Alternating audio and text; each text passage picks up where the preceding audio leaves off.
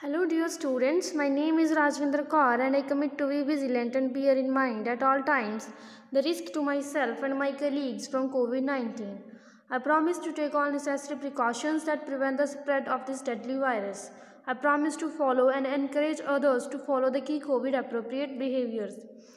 To always wear a mask, face cover, especially when in public places, to maintain a minimum distance of 6 feet from others, to wash my hands frequently and thoroughly with soap and water. Together, we will win this fight against COVID 19. So, 8th class students, today we are going to revise our chapter number 3 that we have already done. That is functions and charts in Microsoft Excel. So, in this chapter, we will learn about inserting function, commonly used function और creating charts. हमने last assignments में भी assignment number I guess seven और eight में इनके बारे में पढ़ा है। हमने हाफ़ चैप्टर ऑलरेडी रीड कर लिया था। वही हाफ़ चैप्टर एक बार और आपको revise कराऊँगी and then in next uh we ये चैप्टर हम कंप्लीट कर लेंगे। सो फर्स्टली फ़ंक्शंस क्या होते हैं? Excel also have a set of predefined formulas known as function के एक्सेल में ऑलरेडी प्री डिफाइंड फार्मूला पहले से बने हुए फार्मूला होते हैं जो हम रेगुलरली यूज़ करते हैं। ठीक है, उनको क्या बोला जाता है? Functions so in this chapter we will learn about inserting function and creating charts so function are use to perform standard mathematical operation जो हम बेसिक मैथमेटिकल ऑपरेशन परफॉर्म करते हैं। उनके लिए यूज़ होते हैं। Some of popular mathematical and statical functions are sum average max min and so on these are the common जो हम नॉर्मली यूज़ करते हैं।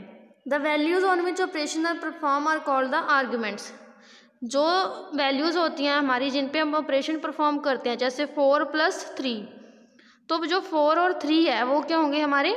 आर्ग्यूमेंट्स ठीक है, और फ़ंक्शन किसको एक्सेप्ट करता है? आर्ग्यूमेंट्स को, और रिटर्न क्या करता है हमें? रिज़ल्ट। ठीक है? फोर प्लस थ्री का रिज़ल्ट क्या होगा? सेवन। और जो फोर और थ्री है, वो है वैल्यू, जिनको हम आर्ग्यूमेंट्स बोलते हैं। लेकिन जो प्लस का साइन होगा, उसको हम बोलते हैं ओपरेंट ठीक है? तो four plus three is equal to seven. Four and three are operands plus का साइन होगा ऑपरेटर, और जो सेवन आया, वो होगा रिज़ल्ट। सो इंसर्ट कैसे करते हैं? Click on the formula tab click on insert function the insert function dialog box appear click on the drop down arrow to open और select a category list select a category then select a function then click okay तो जो rule है, हमें जब हम कोई function add करते हैं तो वो कौन कौन से हैं? First is a function always begin with an equal sign function जो है, हमेशा जो फॉर्मूला है, वो किस साइन से स्टार्ट होता है? Equals to. Okay? Function arguments are given in the small brackets after the name of the function. तो हम क्या करते हैं? इज़ इक्वल टू के बाद क्या होता है हमें? हम फ़ंक्शन का नेम लिखते हैं. फॉर एग्जांपल हमने लिखा सम एस यू एम हम सम लिखेंगे, उसके बाद ब्रेसेस स्टार्ट होंगी. तो जो हमारी आर्ग्यूमेंट्स हैं, हम किस चीज़ में लिखेंगे वो? ब्रेसेस में. Okay okay? तो जहाँ पे जो हमने पहले पढ़ा है प्रॉपर तो उसके बारे में बताया पिक्चराइजेशन की है.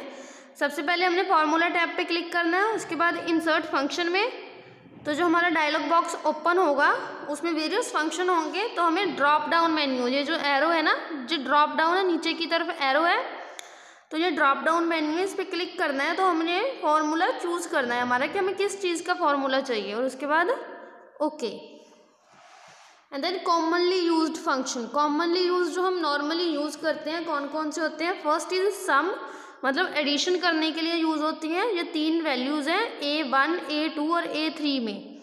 तो इन्होंने इक्वल्स टू सम और ब्रैकेट में हमने क्या देनी है? आर्गूमेंट तो इन्होंने एक रेंज दे दी। हमें रेंज पता है, हम कॉलन के साथ लिखते हैं। From A one to A three तो एक रेंज मिल गई है। तो उसके बाद जब एंटर किया तो हमारे पास आंसर आ गया twenty nine eight plus sixteen plus five is equal to twenty nine हम हम इसको ऐसे भी लिख सकते हैं। ठीक है? तो वो सम से पता कर लेगा कि ऐड करेगा। Okay to find the difference between two number use sum function and convert the number that you want to subtract to its negative value तो अगर हमने माइनस करनी है तो उन्होंने क्या बोला कि हम क्या कर सकते हैं? हम सम फ़ंक्शन यूज़ कर सकते हैं, लेकिन जो नंबर हमने माइनस करना है, उसके आगे हम क्या लगा देंगे एक माइनस का साइन तो ऑटोमेटिकली वो एक नेगेटिव वैल्यू हो जाएगी तो उसमें से माइनस कर देगा। सेकेंड इज़ प्रोडक्ट प्रोडक्ट का क्या मतलब होता है? मल्टीप्लीकेशन कि हम जो भी वैल्यू देंगे उसको, वो क्या कर देगा उसको? मल्टीप्लीकेशन और ये सिंटेक्स होता है. सिंटेक्स का मतलब होता है कि किसी चीज़ को लिखने के लिए एक प्रॉपर मैनर होता है. ठीक है? तो उसका हम ये फॉर्मूला अपनी तरफ़ से नहीं लिख सकते, अपने हिसाब से कि हमने कुछ भी लिख दिया और आंसर निकाल के दे देगा. नो हम उसमें प्रॉपर एक लाइन वाइज ऑर्डर वाइज हम लिखेंगे तो सबसे पहले क्या आएगा? इजिकल टू उसके बाद फार्मूला का नेम ब्रेसेस स्टार्ट होंगे और उसके बाद आर्ग्यूमेंट्स ब्रेसेस क्लोज सम में भी सेम ही ऐसे था. Sum number one number two ठीक है, इसके आगे क्या है इजिकल टू और ये नंबर वन नंबर टू यानी कि आर्ग्यूमेंट्स है, इनको किस चीज़ में लिखा गया है? ब्रेसेस में. Then third is quotient this function is use to find the quotient when number is divided by another जो एक बार हम नंबर डिवाइड करते हैं, जो आंसर आता है हमारा, उसको बोला जाता है कोशेंट तो थर्टी फाइव को एट पे इन्होंने क्या किया? डिवाइड किया और क्वेश्चन आ गया हमारे पास फोर रिमेंबर ये सिर्फ़ क्वेश्चन देता है रिमाइंडर नहीं देता है हमें। ठीक है? Only the question it will give number four is the power हम पावर जब मल्टीप्लाई करेंगे किसी चीज़ की the function is use to calculate the value of a number raise to a power और उससे पहले हम देखेंगे क्वेश्चन का जो सिंटेक्स है क्वेश्चन हम फ़ंक्शन का नेम लिखेंगे और उसके बाद न्यूमिनेटर एंड देन डिनोमिनेटर। ठीक है? जिसको डिवाइड करना है, जिसके साथ डिवाइड करना है। पावर का सिंटेक्स क्या है? पावर हम किस चीज़ के लिए यूज़ करते हैं? कि हम यू करते हैं ना कि three raise to power two that means three into three power को सॉल्व करना होता है ना कि अगर थ्री की पावर टू है मतलब थ्री को टू टाइम्स मल्टीप्लाई करना अगर फोर है तो थ्री को फोर टाइम्स मल्टीप्लाई करेंगे। तो एक्सल में इसका फार्मूला क्या है? इज़ इक्वल टू पावर और ब्रैकेट में एक नंबर और उसकी पावर तो उन्होंने इज़ इक्वल टू पावर दिया नंबर दिया यहाँ पे थ्री और उसकी पावर दी है two that means three raise to power two और थ्री को अगर टू टाइम मल्टीप्लाई करेंगे तो आंसर कितना आएगा? नाइन ओके सुनने दिया you can also write the name of a function in lower case it does not effect the result जो जो इन्होंने पावर कोशेंट सम वगैरह कैपिटल लेटर में लिखे हम इसको लोअर लेटर्स में भी लिख सकते हैं। It will not give any problem okay so next is some commonly use statical function कौन से हैं? मैक्स मिन काउंट काउंटे और एवरेज मैक्स का क्या होता है कि कोई हमें रेंज दी गई है, उसमें से हमने सबसे बड़ा नंबर फाइंड आउट करना है। This is use to find the largest number from a set of numbers ये इन्होंने सेट ऑफ़ नंबर दिए हैं। इन्होंने लास्ट सबसे बड़ा नंबर फाइंड आउट करना है। तो कौन सा किया यहाँ पे? सेवेंटी सिक्स ओके तो इसका जो सिंटेक्स है क्या? है is equal to max range of number जो भी नंबर की रेंज है। ये इन्होंने मैनुअली लिखी है। हम सिलेक्टेड सेल को भी दे सकते हैं। That means A one A two A three so on okay उसके बाद है minimum to find the minimum among these same ही है, हमें सिर्फ़ यहाँ पे मिन यूज़ करना है और रेंज ऑफ़ नंबर्स ठीक है? तो इनमें से सबसे छोटा क्या है? Minus thirty two count this function is use to count the number of cells containing a number ये उन नंबर्स को काउंट करता है सेल्स को, जिसमें सिर्फ़ नंबर हो. It does not count the cell containing text इसकी एक एग्ज़ाम्पल है. कि यहाँ पे सेल ए वन से लेके सी थ्री तक नंबर्स और लेटर्स कुछ दिए गए हैं। One two minus forty five two point twenty four point zero seven forty okay hi three point four five and thanks okay अगर हम इस पर काउंट फ़ंक्शन यूज़ करेंगे तो उन्होंने दिया काउंट और एक रेंज दे दी from A one to C three ठीक है। तो जो, सिर्फ़ हमें उन सेल्स के नंबर रिटर्न करेगा जिसमें सिर्फ़ नंबर है। नंबर किसमें है? यहाँ पे one two minus forty five twenty four point zero seven और three point four five one two three four five तो फाइव सेल्स में नंबर है तो इसने हमें फाइव रिटर्न किया। तो काउंट किस लिए यूज़ होता है? सिर्फ़ नंबर वाले सेल्स को फाइंड आउट करने में। ठीक है? Next is counter counter function किस लिए यूज़ होता है? This function is use to count the cell containing a number और टेक्स्ट ठीक है? ये उनके लिए यूज़ होता है, जिनमें या तो नंबर हो या तो टेक्स्ट हो। सेम ही एग्ज़ाम्पल है। सभी को सिलेक्ट किया range the count a and A one colon C three. तो जो भी नंबर्स हैं, इनमें नंबर हैं, इसमें टेक्स्ट है और नंबर भी है, इसमें टेक्स्ट है, इसमें टेक्स्ट है इसमें टेक्स्ट है। ठीक है?